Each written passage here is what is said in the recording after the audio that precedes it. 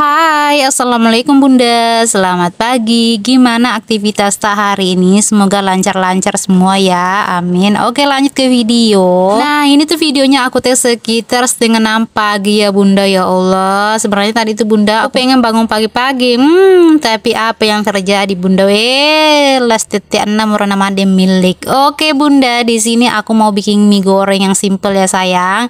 Nah siapa tahu Bunda-bundanya juga pengen bikin karena anak-anaknya Bunda. Oh pokoknya ini bunda simple pokoknya meras ada malunra bunda. Oke lanjut bunda di sini juga kolunya aku iris-iris setipis-tipis mungkin ya bunda. Pokoknya kita tipis-tipiskan aja. Nah kalau ada sawi enak banget kalau ada sawi tapi di sini aku nggak ada sawi. Jadi kita pakai aja kolu. Oke bunda. Nah seperti ini ya sayang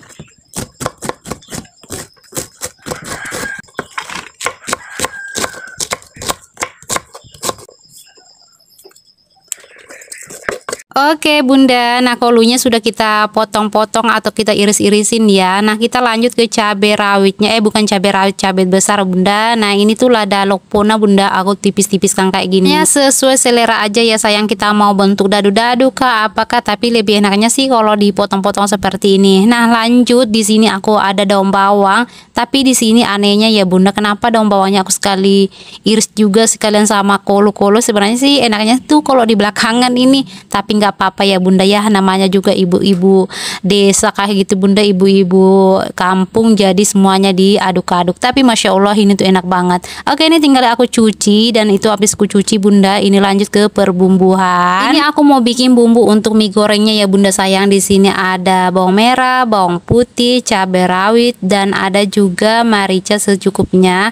Dan biar ada warna merahnya bunda ini aku masukkan juga cabai besar ya bunda sayang. Terus kita ulek-ulek deh sampai benar-benar halus. Ya bersih deh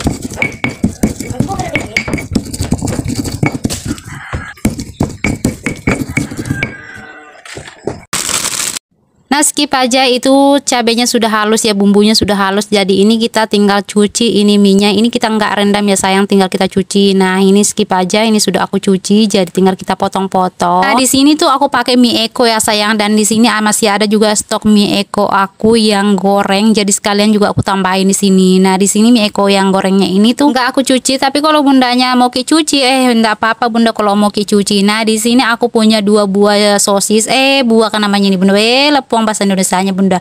Eh, dua biji sosis ya bunda. Tinggal kita kupasin terus. Kita mau potong-potong serong sesuai selera aja ya bunda. Pokoknya bunda eh ke mana suki bunda? Ndak usah terlalu pusing-pusing bunda. Pokoknya sesuai selera aja kita bikin kayak gitu bunda. Ndak sama kalau ada tamu di bunda. Harus kiwas-was bikin eh apa-apa di dapur. Tapi kalau tidak ada tamu tak bunda eh sembarang bang bunda. Nah tinggal kita potong-potong seperti ini. Pokoknya sesuai selera aja ya sayang cintaku. Oke skip aja. Itu bahan-bahannya sudah lengkap semua ya. Tinggal kita mau olah. Nah ini ya wajahnya sudah kita siapkan dan kita masukkan minyak kalau sudah panas kita goreng sebentar sosisnya. Kalau bundanya punya hati ayam boleh juga ditambahin hati ayam. Nah kenapa aku goreng sosisnya supaya sosisnya itu agak kriuk-kriuk kayak gitu ya sayang. Nah skip aja ini tuh sosisnya sudah kriuk-kriuk. Jadi kita masukkan bumbu halusnya sampai benar-benar bumbu halusnya itu matang.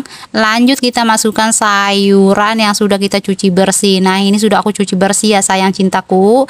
Nah tinggal kita aduk-aduk sampai benar-benar ter campur rata ke sayur bumbunya itu bunda. Pokoknya hmm, pokoknya bunda we merasa ada melunra ini bunda. Nah jangan sampai layu ya sayang karena nanti kita mau masukkan kuah kayak gitu. Nah tinggal kita aduk-aduk seperti ini terus kita masukkan minyak. Ini minyak kita sudah cuci ya sayang.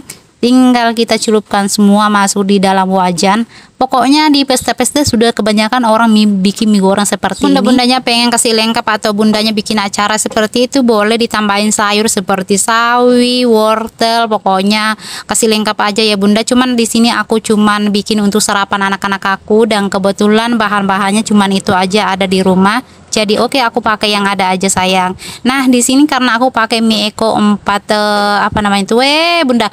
4 peta kan namanya itu bunda. Jadi di sini aku pakai satu gelas saja airnya ya sayang itu sudah pas. Tapi kalau bundanya pakai mie eko yang satu pak itu yang besar boleh pakai air satu liter gitu sayang itu juga sudah pas. Tapi kalau bundanya menurut itu agak kelembean boleh dikurangi sedikit sayang. Oke kita tinggal aduk-aduk aku aduk-aduk terus ya bunda. Di sini sudah aku masukkan juga tadi bumbu indominya. Terus di sini tinggal kita aduk-aduk seperti ini sayang.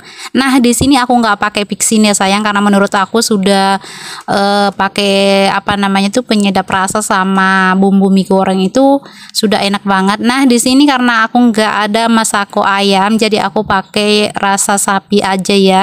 Oke lanjut karena airnya sudah kering sayang, ini sudah kering ya. Kita masukkan bumbu penyedapnya tadi, terus kita masukkan juga kecapnya. Oke kita aduk-aduk sampai benar-benar tercampur rata ke miminya ini, masya Allah. Pokoknya kalau bunda pengen juga bikinkan untuk anak-anak boleh dicoba-coba seperti ini ya sayang aku pakai empat tadi mie eko itu cuman satu gelas air yang aku pakai. Pokoknya pas sudah itu bunda nggak lembek nggak keras hmm, masya allah itu sudah jadi mie gorengnya bunda. Pokoknya merasa dan melunra ini bun. Oke skip aja ini sudah matang ya bunda sayang. Tinggal kita pindahkan ke wadah yang lain. Nah di sini aku pakai baki-baki yang kecil supaya nanti puas anak aku sendok-sendokin kayak gitu eh. Apakah namanya itu bunda? Nah di sini masya allah di sini ini tinggal aku kasihkan bawang goreng iya bunda kalau bundanya pengen masukkan daun sop boleh juga sayang. Itu lebih enak kalau ada daun sopnya. Nah di sini aku taburi juga daun bawang secukupnya aja ya sayang. Di sini aku nggak taburin daun sop ya sayang karena memang uh capu daun sopku bunda. We teh atau bunda. Jadi pakai yang ada aja di dalam kulkas. Hmm pokoknya bunda we ini kasih sendok-sendokan ki bunda we merasa dan malunra bunda. Oke bunda seperti biasa kalau pagi-pagi tuh nggak lengkap kalau nggak minum kopi. Nah, di sini aku bikin kopi untuk suami dan untuk diriku dan ada juga teh untuk anak aku. Aku tuh bunda, pokoknya kalau pagi-pagi pasti minum kopi. Ada nggak yang seperti aku? Kalau ada boleh di komentar di bawah. Nah, seperti biasa lah ya bunda. Tinggal kita aduk-aduk seperti ini. Nah, Jangki bilang lagi, ya Allah itu eh sendok dipakai garu kopi, tidak pakai lagi garu teh. Enggak sayang, coba perhatikan nanti videoku ini bunda. Eh, dua tuh sendokku pakai sayang, weh masa masa iya bunda eh, sendok pegaru kopi ku pakai lagi garute sedangkan anak aku protes sayang kalau begitu. Oke skip aja. Nah ini anak aku sudah sarapan jadi waktunya juga aku sarapan nah ini aku pakai piring bekas anak aku. Oke lah bunda sampai di sini dulu vlog aku hari ini. Terima kasih banyak yang sudah nonton vlog aku sampai selesai. Semoga selalu Ki diberikan kesehatan umur yang panjang dan dale yang lancar. Dan aku doain yang lagi sakit semoga secepatnya disembuhkan. Amin. Pokoknya jangan lupa Ki selalu bersyukur dan bahagia nah dan sampai ketemu lagi di vlog aku selanjutnya. Assalamualaikum warahmatullahi wabarakatuh. Bye bye.